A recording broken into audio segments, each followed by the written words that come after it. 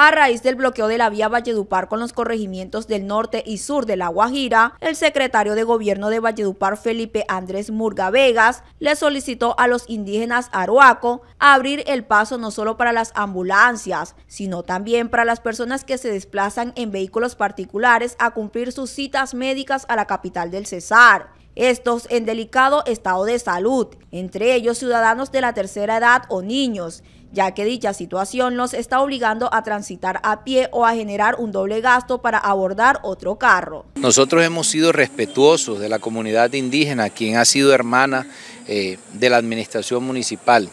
Hemos respetado como eh, dentro de los derechos este, esta marcha que ellos han venido presentando de manera pacífica, pero también hemos sido exigentes de eh, permitir la libre movilidad porque es un derecho también de los ciudadanos de Valledupar, de la comunidad eh, que nos representa también ese tráfico permanente que tenemos entre La Guajira y Valledupar. También tenemos acá los corregimientos de la zona norte afectadas y es lo que hemos venido solicitándoles, el levantamiento del bloqueo, que ubiquemos un punto específico en el que podamos llegar a algunos eh, diálogos con el gobierno nacional y que ellos puedan realizar esta movilización que viene haciendo de manera pacífica, pero que definitivamente está afectando a la comunidad vallenata. Solamente están dándose paso a la misión médica, las ambulancias, pero esto no representa eh, lo que nosotros queremos como administración municipal.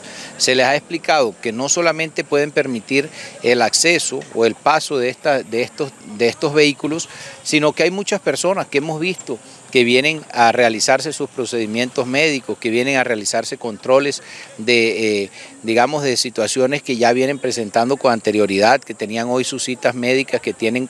Eh, controles quirúrgicos, hemos visto a personas pasar eh, con diferentes procedimientos quirúrgicos en muletas, hemos visto a adultos mayores también ser movilizados en sillas, RIMAX, digamos a lo largo del puente para poder transitar entre un paso y otro del puente. Entonces nosotros el llamado que les hacemos es a levantar este punto de bloqueo y que definitivamente podamos darle también la tranquilidad a esas personas que vienen a realizarse también cualquier tipo de procedimiento, a tener el derecho también a movilizarse hacia la ciudad.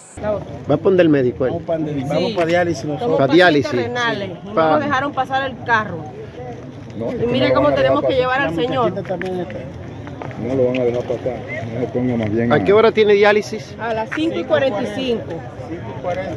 ¿De dónde vienen ustedes? A Nuevo y San Juan. y San Juan. Bueno.